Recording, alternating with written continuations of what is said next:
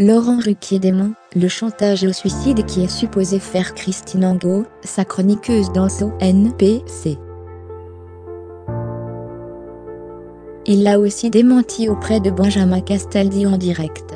Benjamin Castaldi a affirmé sur le plateau de Touche pas à mon poste que Christine Angot avait menacé Laurent Ruquier de se suicider s'il venait à mettre un terme à ses chroniques dans On n'est pas couché.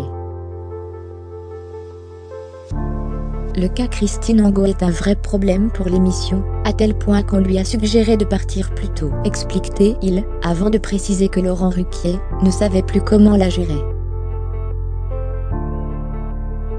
L'animateur de France 2 aurait voulu s'en débarrasser, mais elle aurait répondu « Attention, si vous me faites ça, vous verrez demain dans les journaux », évoquant même une possibilité de se suicider.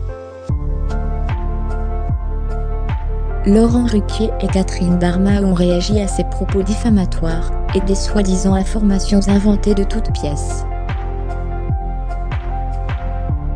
Et dans l'émission d'hier soir, Benjamin Castaldi explique avoir échangé avec Laurent Ruquier, dans les coulisses des enfants de la télé.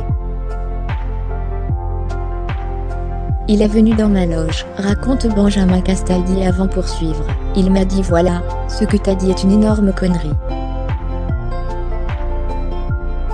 Je te jure sur ce que j'ai de plus cher au monde, que tout ça est faux. D'ailleurs, Christine Angot sera là la